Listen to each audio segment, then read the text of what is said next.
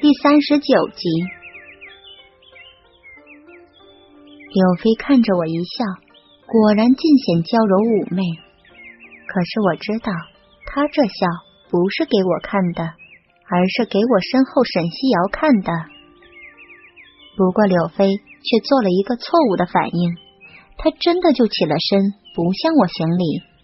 我心中笑了起来。我知道，以他对我的恨。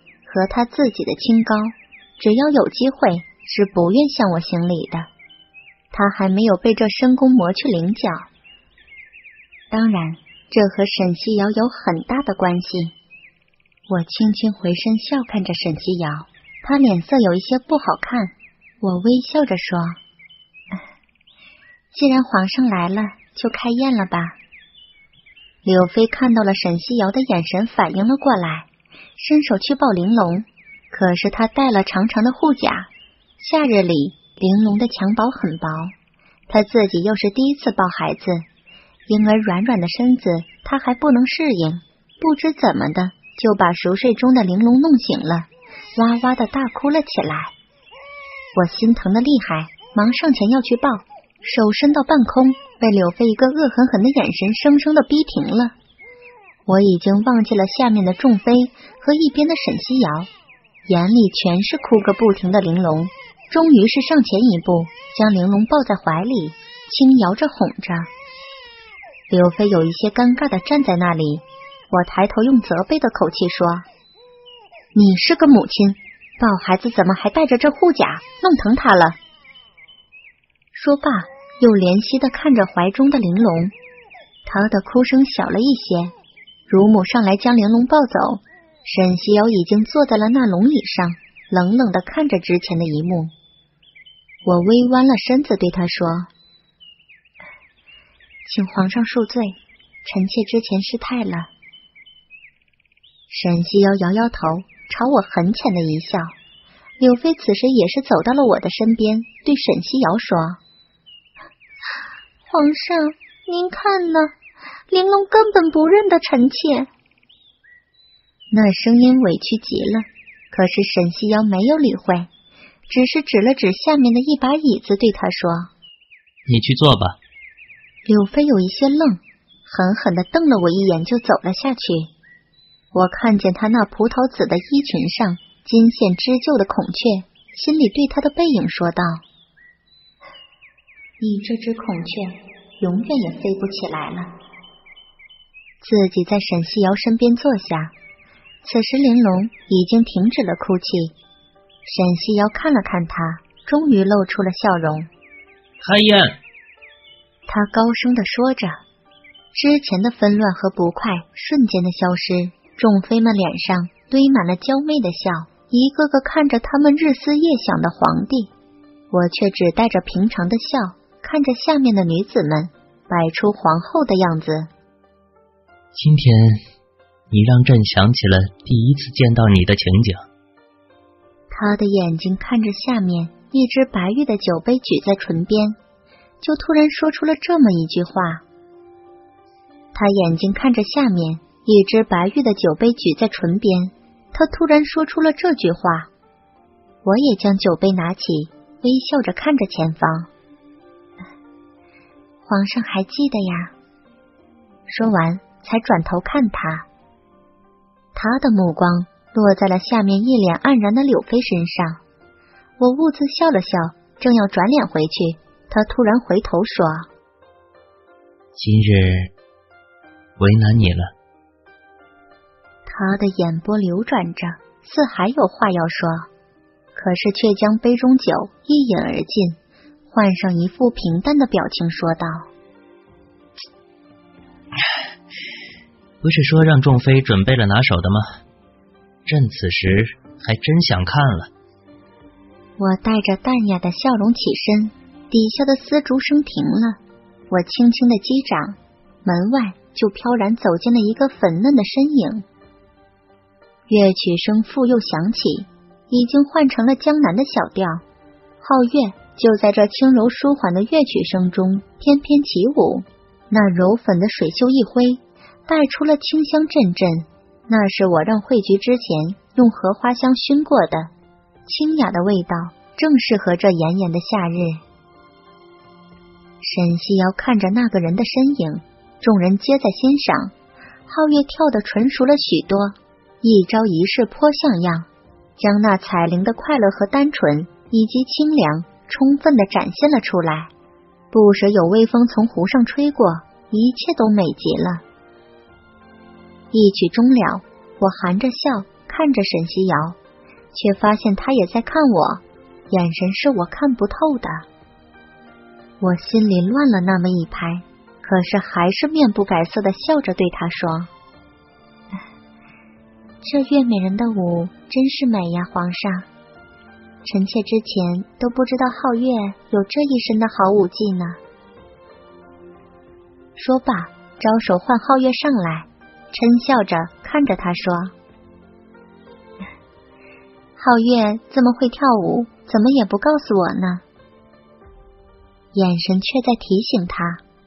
皓月很聪明，羞涩的说道：“奴婢也是偷着学的，娘娘过奖了。”跳的是不错，看来师傅很好。说罢，赞许的点了点头。我心跳有一些厉害，余光紧张的扫了一眼沈西瑶，他仔细看着皓月，可是表情却是淡淡的。我看了一眼在下面坐的柳飞。他只是看着自己眼前的盘子，眼神有一些迷茫。我暗自感叹，他没有那些手腕，换了别人，能来了这满月席，就一定会想办法得到皇帝的眷顾的。这时，柳飞站了起来，笑着说：“臣妾愿为皇上跳上一曲。”我脸色平和下来，却没有拒绝他。啊，妹妹的舞姿我还没有见过呢，只是听说过。柳飞头微仰了一下，走到月宫前面，吩咐了什么，一曲悠扬的曲调便响了起来。我看着那紫色的身影在旋转，手上翻覆着，那衣裙飘散开去，轻盈动人。沈西瑶似是很动容，目不转睛的看着他。我承认。柳飞的舞跳得很好，可是却不至于好到让沈西瑶如此的地步。心中有疑惑，却还是装作不在意。柳飞一舞结束，似不胜疲惫的慢慢走回只有两步远的椅子上，又好似坐的不舒服。沈西瑶说道：“上来坐吧，你毕竟是玲珑的母妃。”那声音温和了许多。柳飞一笑，就走了上来。我也带着笑看着他，底下的皓月眼里是失望和难过。我给了他一个宽心的笑，他低下头喝着杯中的酒。嫔妃大多都展示了自己的才艺，只有丽妃和何妃没有，他们只是带着笑看着。丽妃是有一些不屑和开心的笑，何妃是淡淡的。看不出情绪的笑，但都是世间最美的。他们远比柳妃聪明。夕阳西下时，满月宴终是结束了。玲珑被封为了安国公主，被从侧殿里抱出来的时候是醒着，粉嫩一团，十分可爱。柳妃也终于是抱了抱她，就做出了不堪劳累的样子，交给了乳母。自己和沈西瑶说笑着，我走上前，将玲珑抱在怀里，跟沈西瑶说：“皇上，听闻今早柳妃妹妹因着思念玲珑昏厥过去，臣妾想了许久。虽然实在是舍不得她，可是还是觉得孩子由自己的母亲带着好，这样妹妹也不会责怪我什么了。”我温和的看着沈西瑶。又转头看着柳飞，只是不知妹妹的身体如何。我的心中却在想，柳飞你会如何的回答？在沈西瑶的心里，你的才德是不会继续减少，可就看你自己了。不过这次柳飞聪明了，他温和的说：“我是时时都在想着玲珑呢。这个月真是麻烦姐姐了。他说完，笑着跟沈西瑶说：“皇上，明日就将玲珑送回来吧。”沈西瑶看了我一眼，我保持着笑容。沈西瑶点了点头，我明媚的笑了起来，拉过了柳飞的手。他在挣扎，可是却不敢挣脱。妹妹，玲珑有很多的习惯和喜好，一时也跟你讲不清。可是我又担心，不如今夜你就住在我那里吧，我们好好说说如何？柳飞的嘴动了动，终于推辞。他是想让沈西瑶今夜在他处，可是我又怎么会让他如愿呢？我没有给他说话的机会，而是甜笑着看着沈西瑶。皇上觉得可好？沈西瑶赞许的点了点头。柳妃没有话说，终于是应了，还带着假意的笑。沈西瑶看了看天，说道。朕要去御书房了，柳飞，你好好的听威儿的嘱咐。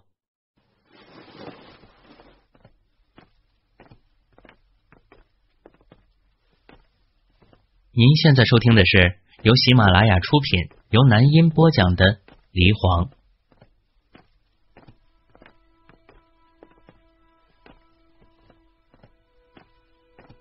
众人躬身送走了他。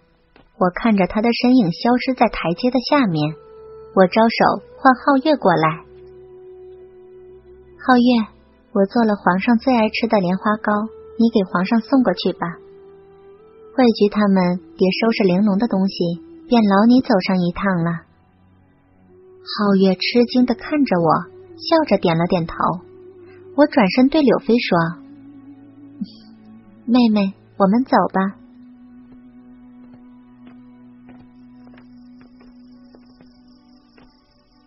坤宁宫里燃着巨烛，十分明亮。柳妃虽是不情愿过来，可是有了沈西瑶的话在先，她自然也不敢违抗。我引她进了鸾凤殿，让所有的侍女太监们都下去了，才笑着说：“妹妹，你在这里等等，本宫去换一件衣服。”说罢，从鸾凤殿后面的门出了去，刚踏出了那扇门。我停下了脚步，跟身后的惠菊说：“你在这里看着柳飞，小心别让他看见。”惠菊点了点头，我才转身去了冬暖阁。很快，我换了件月白水波纹的简单的裙子，头上挽了一个低至脖颈的髻，只戴了一根金簪，很长，簪首是一颗明亮的东珠，后面。镶着米粒大小的银珠，簪尾光滑尖利。我走出了冬暖阁，远远的示意浩菊不要出声，自己走到了那门口，无声的推开门，就见柳飞一人在空荡荡的鸾凤殿里孤独的站着。他略微胖了些，失去了当初的轻盈动人，却多了一些富贵之相，倒也好看。我看着他。站在那凤座前，手不停的摩挲着，眼里是一股热切和痴迷。他手上的护甲已经摘下来，搁在一旁。他的手光滑白皙，在烛光的照耀下闪着光。我看着那洁白，一遍又一遍的摸着那赤金凤座的扶手、靠背，还有那上面铺的大红锦缎蜀锦软垫。我静静的站在他看不见的地方，看着他。慧菊在我身后不敢出声，有风吹了进来，凉凉的，吹起我裙子轻薄的一角。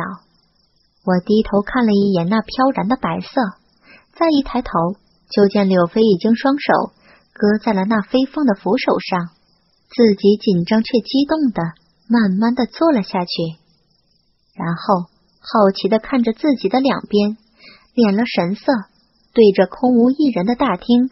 摆出了威严的神情，我淡淡的笑了。在柳飞低头看着椅边精致的雕刻时，我轻声的走到了他的面前。舒服吗？我用极温和的声音问道。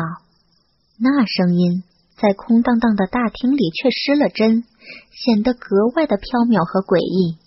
柳飞一凛，僵了半天，才缓慢的抬起了头，眼里充满了恐惧的看着我，猛地站了起来。我没有改变自己的微笑的表情，只是走到了那凤座旁看着他。柳飞的目光。也停在他上面，我灿然一笑，坐了下去。柳飞的眼中有着不甘和无奈，还有悲伤与恋恋不舍，我一一看在眼里。这时，惠菊端了把椅子放在柳飞的身边。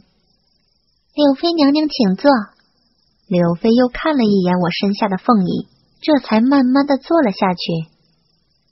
惠菊奉上茶，我手一挥。你下去吧，本宫和柳妃说说话。我喝了一口茶，才对同样端着茶碗的柳妃说道：“今夜安排你住在侧殿吧，你可愿意？”柳妃一怔，她本以为我要与她说别的，却没有想到只是这样简单的事。柳妃嗯了一声，神情小心且紧张，她还在等待着什么。我却看着桌上的一盘荔枝，说：“去年本宫这个时候还未进宫，那时很喜欢南国的榛果。今日这是新到的，你也尝尝吧。”说罢，拿起了一颗，慢慢的剥着，那鲜红的皮纷纷散落在桌上，里面是晶莹的白色，红白对比，十分的好看。我将那果肉放在口中，甘甜的味道传来。我偏了头，柳飞拿着一颗剥着，他剥着剥着，有一些迟疑和抗拒。那盘荔枝是放在他手边的另外一盘，颜色鲜艳明亮，上面的水珠还隐约可见，看起来是很美味的。可是，在他的眼里，此时应该是如同毒药一般的吧。我笑着，微探了身子，说：“妹妹怎么不吃呢？”我的声音是我自己都厌倦的甜腻。柳飞抬头看我，啊，我不喜欢如此甜的。他的声音有一些慌乱。我摇着头说：“今年这不是很甜的。”本宫之前可是听说过，妹妹你喜欢吃荔枝，这才让他们准备的呀。我没有说下去，只是笑看着他。柳飞的脸红了下去，终于是将自己手中已经剥好的荔枝放入了嘴里，却半天不敢下咽。我微微一笑，好似在说着什么不相关的。别怕。没什么问题的。他慌了，看了我一眼，便将那果肉咽下了肚。我看着他吐出那盒，缓缓的说：“不是一直都想看看这坤宁宫吗？今夜本宫就陪你都看看吧。”我拍了拍凤椅的扶手，说：“这椅子不知和你宫里的比起来，是否更合你的心意呀？”柳飞正端着茶要喝，手一松，砰的一声，那茶碗掉在了地上，摔得七零八落，碎片有几片掉在了我的脚边。我没有理会，只是喝着手中的茶。